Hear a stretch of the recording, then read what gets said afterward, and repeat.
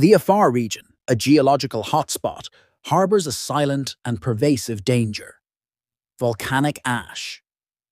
Unlike soft smoke, this ash comprises microscopic, sharp fragments of rock and glass, making it incredibly destructive.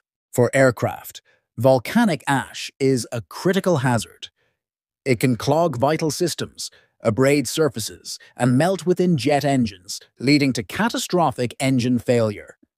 This invisible threat necessitates strict no-fly zones and constant vigilance for aviation safety.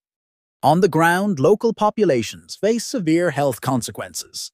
Inhaling fine ash particles causes respiratory illnesses, illnesses, eye irritation, and long-term lung damage.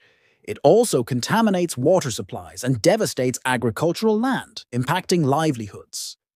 Understanding these profound dangers is essential for both global aviation and local community safety.